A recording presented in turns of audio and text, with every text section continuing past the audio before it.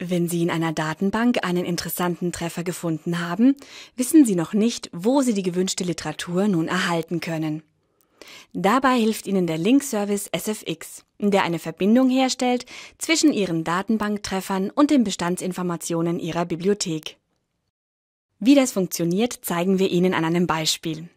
Nehmen wir an, Sie recherchieren in einer Datenbank zum Thema Ihrer Seminararbeit und Sie haben zwei relevante Treffer gefunden. Bei vielen Datenbanken erscheint bereits in der Trefferliste das SFX-Symbol. Bei anderen Datenbanken müssen Sie den Treffer nochmal anklicken und SFX begegnet Ihnen erst in der Einzeltrefferanzeige. Dabei kann das SFX-Symbol je nach Datenbank an ganz unterschiedlichen Stellen untergebracht sein.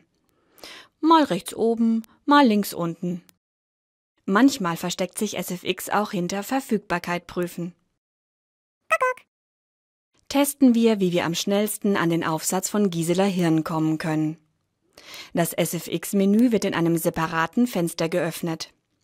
Bei dieser Literaturangabe stellen wir fest, dass die UB die Zeitschrift lizenziert hat. Die Zeitschrift liegt in elektronischer Form vor.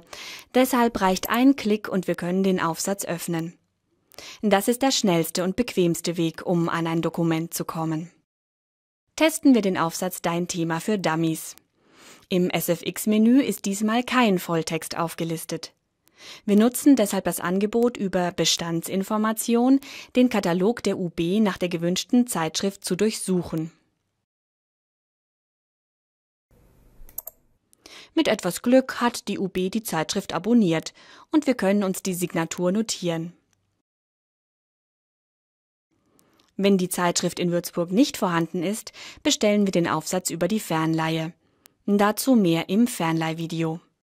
Übrigens, SFX steht für Special Effects und wir hoffen, dass Sie den positiven Effekt von SFX in Ihrer nächsten Datenbankrecherche zu spüren bekommen. Noch Fragen? Wir helfen Ihnen gerne weiter.